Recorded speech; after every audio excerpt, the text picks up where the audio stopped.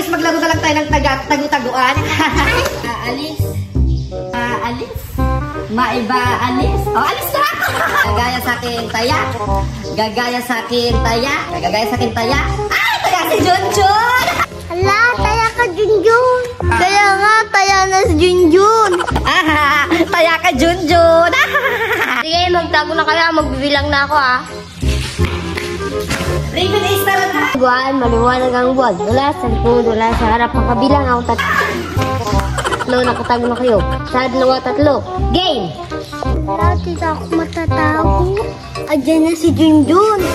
Sigurado ako hindi na ako mahahanap ni Junjun dito. Dito na ako magtatago. ah, saan kayo? Mahanap ko kayo. Hala, at na si Junjun. Sino kaya yung mauunang mahahanap? Diyan na si Junjun. Sigurado ako hindi ako makikita ni Junjun dito. Mauuna si Ace o kaya si Raven. Naglalaro sila ng tagu-taguan. Tapos, si Junjun yung taya. Alam ko na. Junjun! Junjun! Halika dito, may sasabihin ako sa'yo. Ano yun, Kurang? Hindi mo ba sila mahanap-hanap? Oo, ang hirap-hirap. Sandali! Alam ko kung saan nagtatago si Banang. Siya na lang yung una mong. O sige, sige, saan siya nagtatago? Nakikita mo yung puno na yon? Doon siya nagtatago sa likod nun. Doon ka pumunta. Ba't nag-uusap si Kurang sa kasi Junjun? Ha?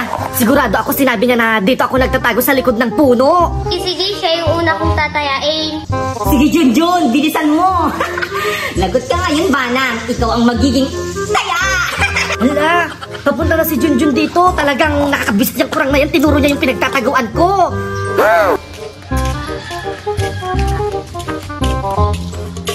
Bumba na, ang dali-dali mo naman mahanap. Ikaw ang taya. Ang daya-daya mo naman, Junjun. Alam ko namang tinuro sa'yo ni Kurang kung saan ako nagtatago eh. Kaya siyang sinasabi sa akin. Hindi na wala siyang sinasabi sa'yo, Junjun. Nakita ko kanina nag-uusap kayo. Taya